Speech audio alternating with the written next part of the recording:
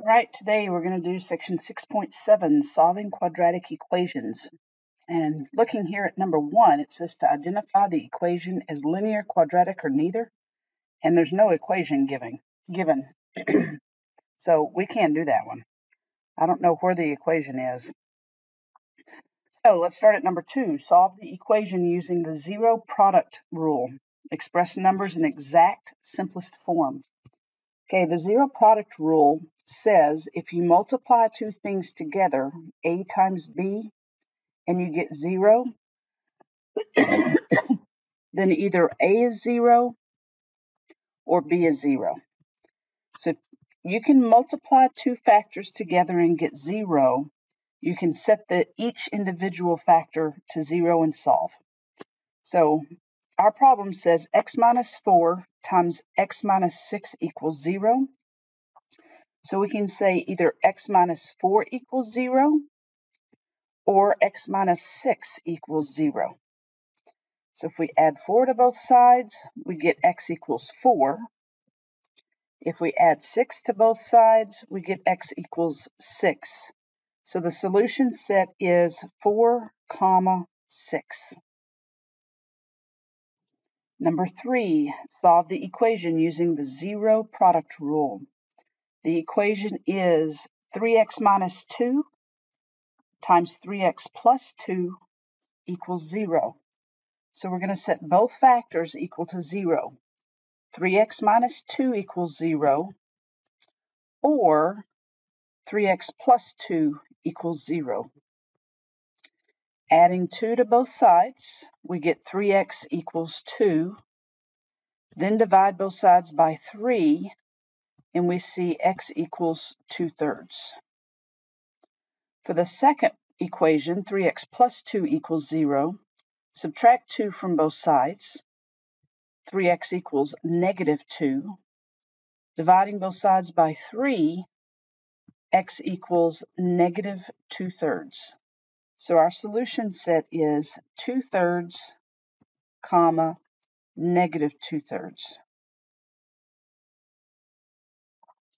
Number four, uh, question four, solve the equation using the zero product rule. x times 2x plus 9 equals 0. Even though you don't see the parentheses, x is actually in its own set of parentheses. So we can say x equals 0 or 2x plus 9 equals 0.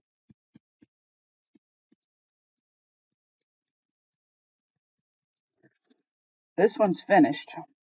The x equals 0. To solve for x on the other equation, subtract 9 from both sides. So 2x equals negative 9. Divide both sides by 2, and I get x equals negative 9 halves. So the solution set is 0, comma, negative 9 halves. All right, question 5, solve the equation. m squared minus 7m plus 12 equals 0. We have the quadratic uh, in standard form on the left, but now we need to factor it, so we can use the zero product property. So I'm going to put 12 on the top, negative 7 on the bottom. Since 12 is positive, they're both the same sign. They both have to be negative. So factors of 12, 1 and 12, 2 and 6, 3 and 4. If they both have to be negative, negative 3 plus negative 4 is negative 7.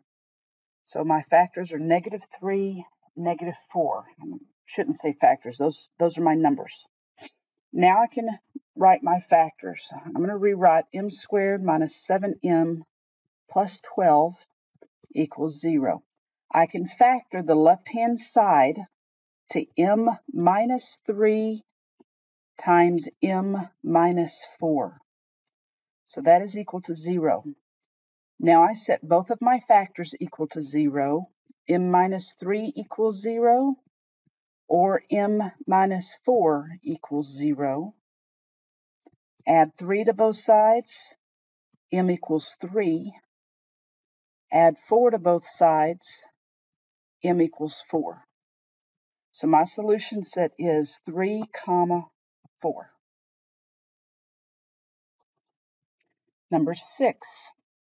Solve the equation 0 equals 49m squared minus 81. I see 49m squared, that is the quantity 7m squared. And 81 is 9 squared. So I have the difference of two squares. That will factor. Let me write the equation down. 0 equals 49m squared minus 81. So I have 0 equals 7m minus 9 times 7m plus 9. If I set the two factors equal to 0, 7m minus 9 equals 0, or 7m plus 9 equals 0. The first equation, add 9 to both sides. 7m equals 9. Divide by 7 on both sides. m equals 9 sevenths. For the second equation, subtract 9 from both sides. 7m equals negative 9. Divide by 7 on both sides. m equals negative 9 sevenths. So my solution set is 9 sevenths, comma, negative 9 sevenths. Question 7. Solve the equation 0 equals 5m squared plus 20m plus 20. Now on the right hand side, I see that there's a GCF. I can pull out a 5 from all of them. So if I rewrite my equation, 0 equals 5m squared plus 20m plus 20. And I factor out a 5 on the right-hand side. That's going to be a 1. 5 goes into 20 four times. 5 goes into 20 four times. So I'm going to have m squared plus 4m plus 4. Now I need to factor that trinomial. How do I factor this? 4 is going to be up top, and 4 will be down below. So factors of 4, 1 and 4, 2 and 2. The top 4 is positive, so they're the same sign. The bottom 4 is positive, so that means they're both positive. 2 plus 2 gives me 4. So the numbers I'm going to use are 2 and 2. So I get 0 equals 5, m plus 2, m plus 2.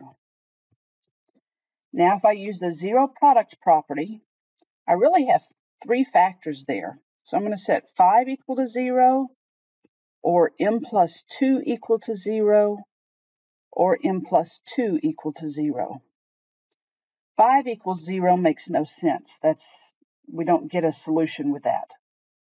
m plus 2 equals 0. If I subtract 2 from both sides, m equals negative 2. And that's actually what's called a double root, because if I solve the other equation, I get m equals negative 2 as well. We only need to say it one time. So the solution set is just negative 2. Number 8, Solve the equation 3m cubed minus 5m squared minus 12m equals 0. So rewriting the equation 3m cubed minus 5m squared minus 12m equals 0. I see that I have a GCF, so I can pull an m out. I would be left with 3m squared minus 5m minus 12 now I need to go factor the trinomial. So on the top number is negative 12. The bottom number is negative 5. Since 12 is negative, the signs are going to be opposite. One's going to be a negative, one's going to be a positive. So, oh, sorry about that. That is not the number 12 that goes up there. A is not 1. The number is 3 times negative 12, which is negative 36. Sorry about that. Just kidding.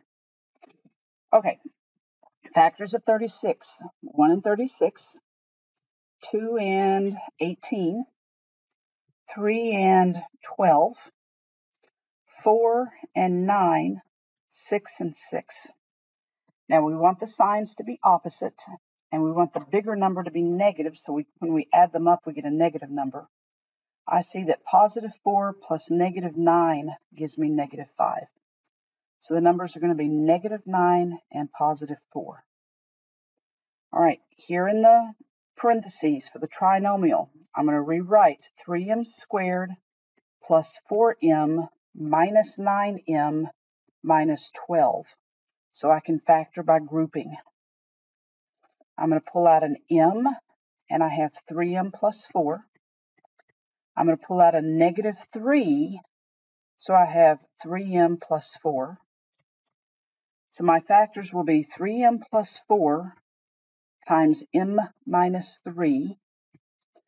Don't forget I have to set that equal to 0, and I also had the GCF of m out front. So this equation, 3m cubed minus 5m squared minus 12m equals 0, factors to m times 3m plus 4 times m minus 3 equals 0. Now I need to set each of those three factors equal to 0. m equals 0, or 3m plus 4 equals 0, or m minus 3 equals 0. This one's finished. For the second one, I need to subtract 4 from both sides. 3m equals negative 4. Divide both sides by 3, m equals negative 4 thirds. For the last factor, I need to add 3 to both sides, and I get m equals 3. So my solution set is 0, negative 4 thirds, 3. Number 9, solve the equation. w times 2w plus 9 times w minus 2 equals 0. I'm just going to set all three factors equal to 0. It's already factored. w equals 0 or 2w plus 9 equals 0 or w minus 2 equals 0. So I get 0 for the 2w plus 9 equals 0, subtract 9 from both sides. 2w equals negative 9. Divide by 2 on both sides, and w equals negative 9 halves. One more to go. w minus 2 equals 0. Add 2 to both sides. I get w equals 2. Number 10, solve the equation y cubed minus 16y equals 0. I have a GCF. I can pull out a y. y squared minus 16. Now, in the parentheses, y squared minus 16, that's a difference of squares. That's going to factor to y minus 4 times y plus 4. Now I have three factors I need to set equal to 0. y equals 0, or y minus 4 equals 0, or y plus 4 equals 0. y equals 0 is already solved, so solution set's going to be 0, comma. Solving y minus 4 equals 0, add 4 to both sides, y equals 4 y plus 4 equals 0, subtract 4 from both sides, y equals negative 4. So my solution set is 0, 4, and negative 4. Number 11, solve the equation. 5z squared minus 40z equals 0. 5z squared minus 40z equals 0. There's a GCF. I can pull out a 5z from both terms. I'm left with z minus 8. That's factored. So I have 5z equals 0 or z minus 8 equals 0. For 5z equals 0, divide both sides by 5, and I get z equals 0. For z minus 8 equals 0, add 8 to both sides, I get z equals 8. My solution set is 0 and 8. Number 12, solve the equation 5q times q minus 5 equals negative 20. Now, I notice that the left-hand side is factored. But when we have the left-hand side factored, the right-hand side needs to say 0. So we've got to keep, we've got a lot of work to do on this one is what I'm trying to say. 5q, q minus 5, negative 20. All right, I'm going to distribute the left-hand side and get 5q squared minus 25q equals negative 20. Then I'm going to add 20 to both sides. So I'm trying to factor 5q squared minus 25q plus 20 equals 0. That's a quadratic equation. It's in standard form, and it's equal to 0. I need to factor the left-hand side. I can pull out a GCF of 5. I'm left with q squared minus 5q plus 4. And now to factor that trinomial, Here's my x. The number up top is going to be 4. It's positive. The signs are going to be the same. The number down below is negative 5. Since it's negative, both of these numbers have to be negative. Factors of 4, 1 and 4, 2 and 2. Both numbers need to be negative. Negative 1 plus negative 4 is negative 5. So my numbers are negative 1 and negative 4. So this trinomial will factor to q minus 1 times q minus 4. Don't forget the 5 out front, and don't forget the equal 0. Okay, I'm going to kind of go up just a little bit so I don't go down too far. I can write 5 equals 0, or q minus 1 equals 0, or ah, 5 equals 0, or q minus 1 equals 0, or q minus 4 equals 0. 5 equals 0 doesn't make any sense. Q minus 1 equals 0, add 1 to both sides, q equals 1. q minus 4 equals 0, add 4 to both sides, q equals 4. So my solution set is 1 comma 4. Number 13, solve the equation. 9 times the quantity d squared plus 2d equals 8d squared minus 81. Now I notice that there's a d squared in here, so this is a quadratic equation. I need to get that in uh, standard form. So first thing I'm going to do is distribute. I have 9d squared plus 18d equals 8d squared minus 81. Now I need to get this in standard form. Subtract 8d squared from both sides. So I have d squared plus 18d equals negative 81. Add 81 to both sides. I have d squared plus 18d plus 81 equals 0. I recognize this as d plus 9 quantity squared. If you did not recognize that, you could go do your x. 81's up top, 18's down below. They're both going to be positive.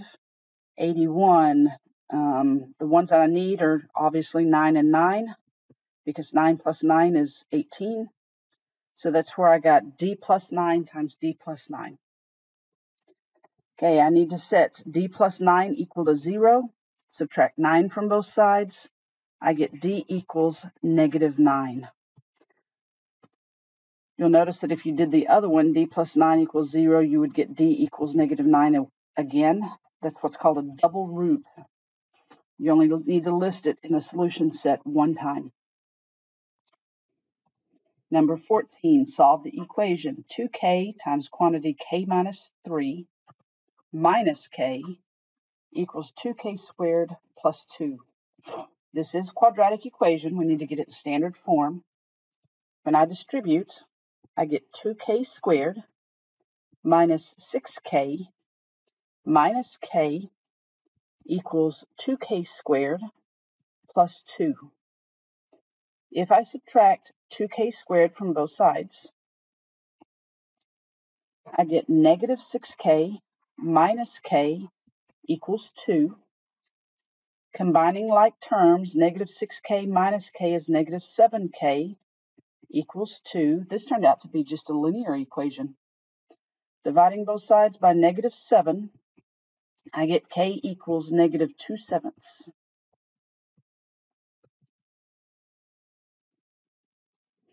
Question 15, last question. Solve the equation x plus 4 times x plus 5 equals 2. I like that it's factored, but guess what? That doesn't equal 0. So factoring doesn't do us any good. We need to FOIL and get it in standard form. So x plus 4 times x plus 5 equals 2. If I go FOIL, remember doing that? I'm going to have x squared plus 5x plus 4x plus 20 equals 2. Now I can subtract 2 from both sides and get it equal to 0. x squared plus 5x plus 4x plus 18 equals 0. Collecting like terms, I have x squared plus 9x plus 18 equals 0. Okay, 18 goes up top, 9 goes down below. They're both going to be positive. Factors of 18, 1 and 18, 2 and 9, 3 and 6. That's it. If I do plus 3 plus 6, I get 9, so my numbers are 3 and 6. This factors to x plus 3 times x plus 6 equals 0.